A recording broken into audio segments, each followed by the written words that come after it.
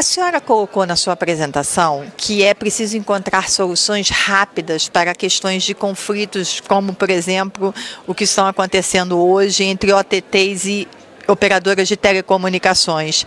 Como é possível chegar a essas soluções rápidas do ponto de vista legal?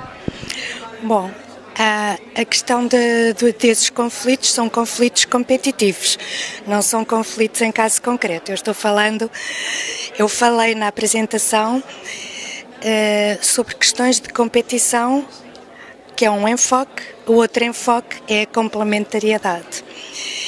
E o que eu tenho visto nas discussões de mercado é uma ausência de preocupação em assinalar as premissas legais, desde o excesso de rigidez das regras em matéria de proteção de dados, principalmente extra ou fora do Brasil, Uh, por exemplo, a incapacidade de discutir também o excesso de, de tributação que incide efetivamente sobre os consumidores de telecomunicações e, por conseguinte, sobre as operadoras também. E no fundo são essas as questões que acabam por ser invocadas como argumentos uh, no, na, na, na luta ou na defesa uh, de que o papel dos OTTs seja uh, onerado pelas mesmas condições que incidem sobre as operadoras.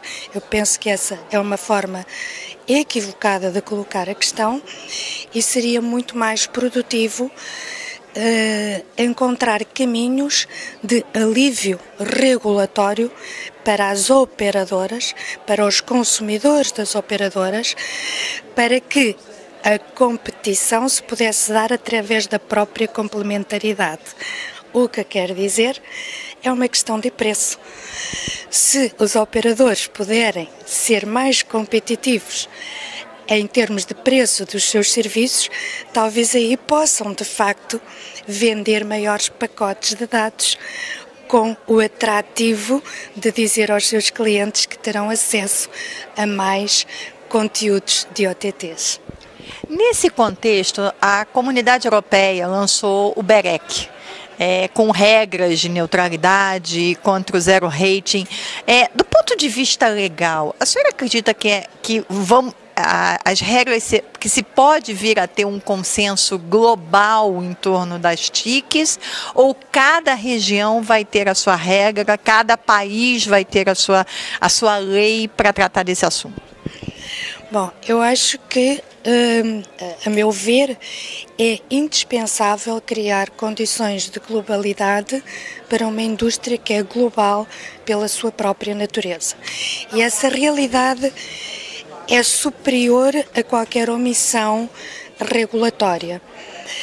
Eu penso por isso que deverá haver um grande esforço de identificar com muito rigor as premissas regionais particulares, os particularismos regionais, para que, com base nesse reconhecimento, se estabeleça uma regulamentação que permita uma convivência global.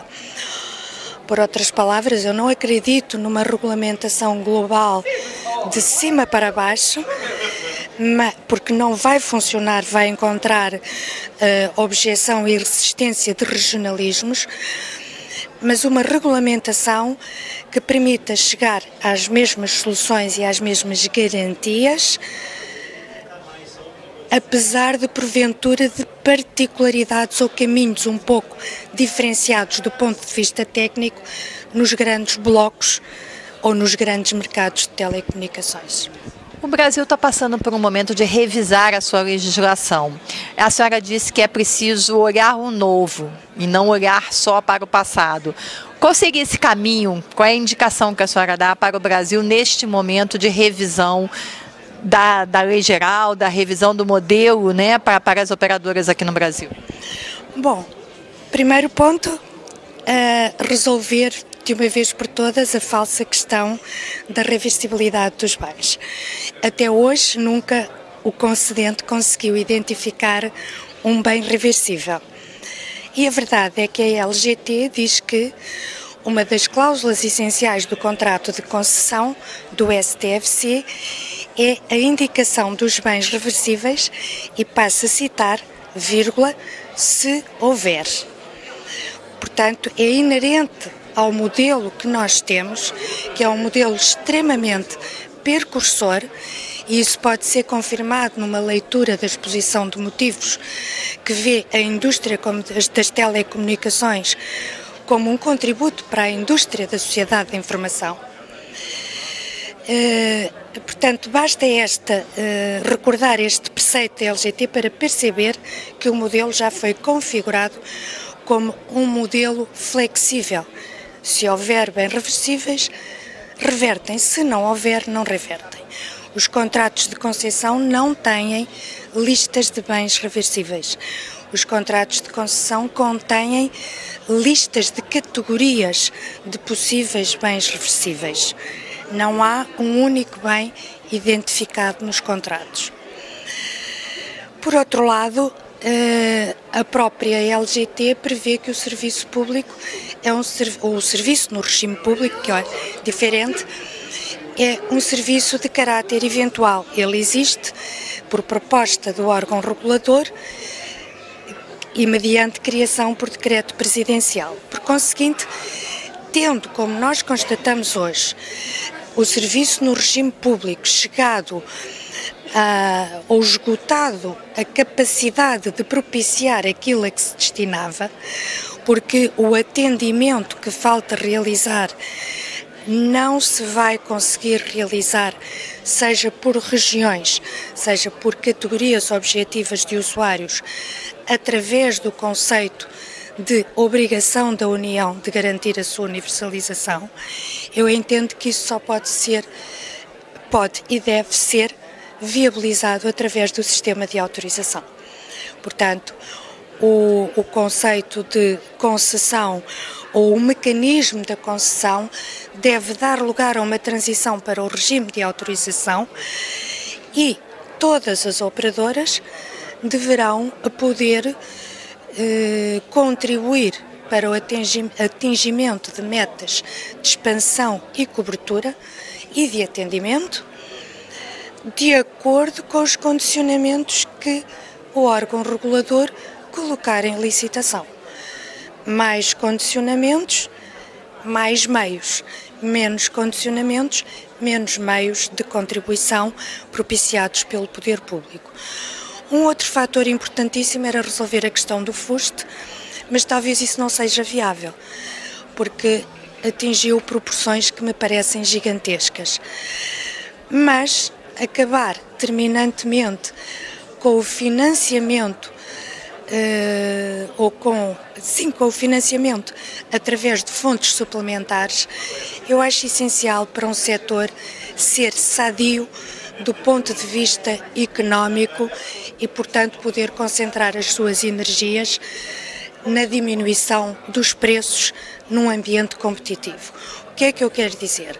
Nós não podemos ter políticas públicas setoriais financiadas por receitas setoriais. As políticas públicas em telecomunicações, elas não são dirigidas só ao setor de telecomunicações, porque o setor de telecomunicações ele é infraestrutural para todas as indústrias. Não há uma única indústria, um único serviço, uma única atividade de qualquer criança que não passe por um suporte em telecomunicações e em tecnologias da comunicação e da informação. Por esse motivo, o financiamento tem que partir dos orçamentos gerais de Estado, seja o orçamento da União, seja o orçamento dos municípios em matéria de educação, e temos que acabar com as contribuições para fundos que são absolutamente perversas quer para o setor, quer para o objetivo final. Nunca lá chegam. É histórico. Já era assim no tempo, no tempo do sistema Telebrás.